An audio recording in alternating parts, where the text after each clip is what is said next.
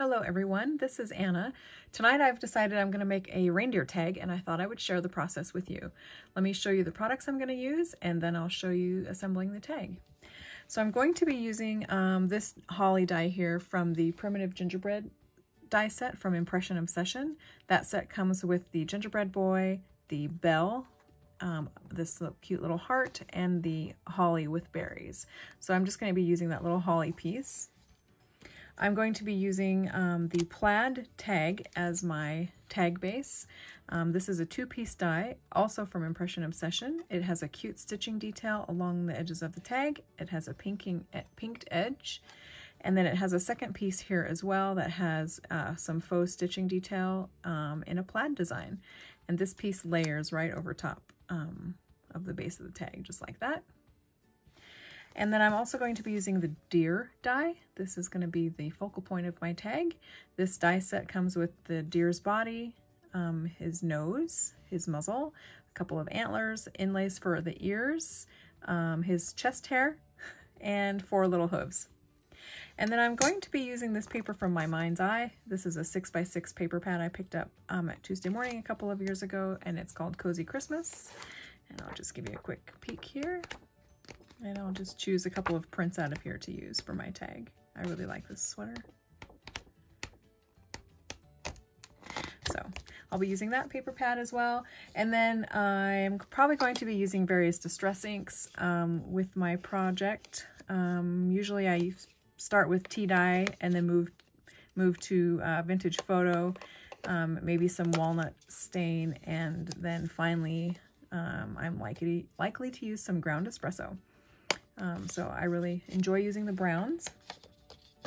And then I will probably use some uh, glitter dust spray as well. So let me go ahead and show you the process of assembling this tag. So I started by die cutting the deer from some kraft colored cardstock.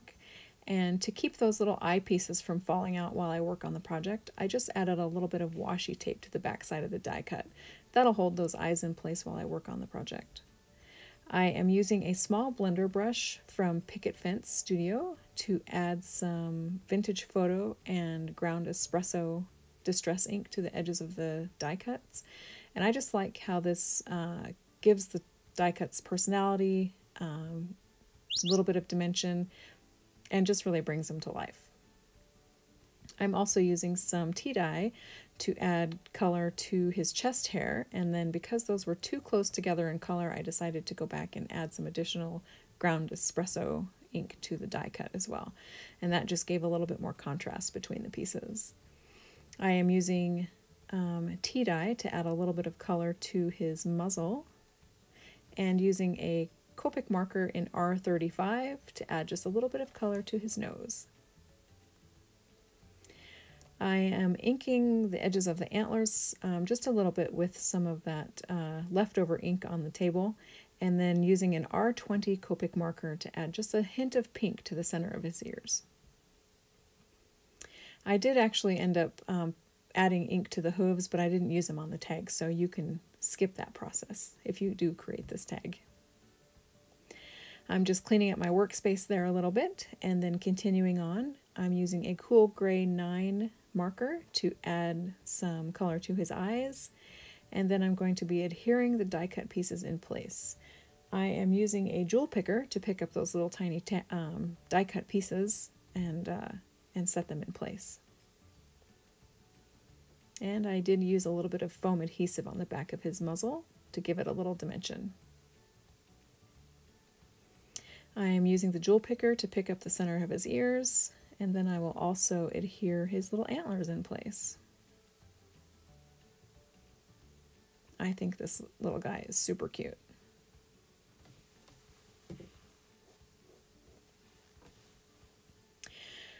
So now for the base of my tag, um, I actually die cut the tag pieces twice, uh, the base of the tag twice. I die cut it from kraft colored cardstock and I die cut it from one of the pieces of the designer paper from the My Mind's Eye pad you can see that that um, layering piece on top has the faux stitch detail in the plaid design and you can see how these two pieces layer together with a border around the outside edge.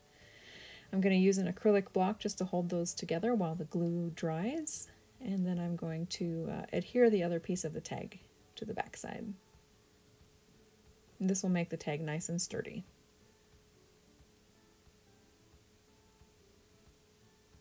Then I decided that I wanted to um, have the deer have the same pinked edge as the bottom of the tag. So I took him over to my die cut machine and ran him through the die cut machine with that tag die, and that gave him the uh, same zigzag um, design on the bottom of his uh, belly. I'm adding foam adhesive to the back of the uh, die cut pieces, and then we'll adhere him to the base of the tag.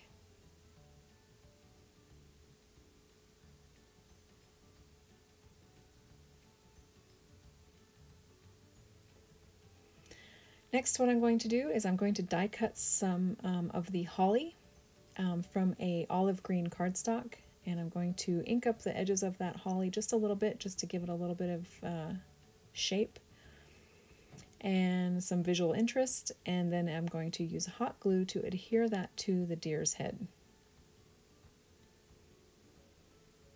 Um, where those little um, uh, berries would be, the holly berries would be, I decided to use a red button that I threaded with some of my favorite hemp twine and created two little flippy ends um, that can stick out from the button. And once I had that done, I adhered the button in place with some hot glue and held it in place while the glue dried with my pinched tweezers.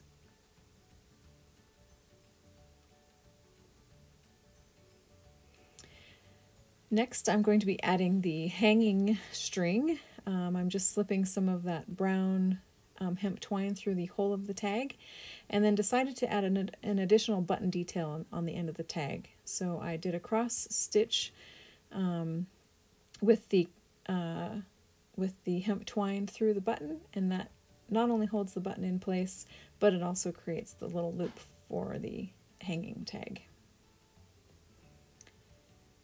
Then I got to looking and I thought, oh my gosh, I think he needs some sparkle. So I covered up my workspace, got out my glitter dust, and gave him a good spritz of glitter, and now I think he is super cute. And I hope you agree. Thank you so much for watching my video. I hope you're inspired, and I hope you've enjoyed. And I guess I will talk to you again soon. Thanks.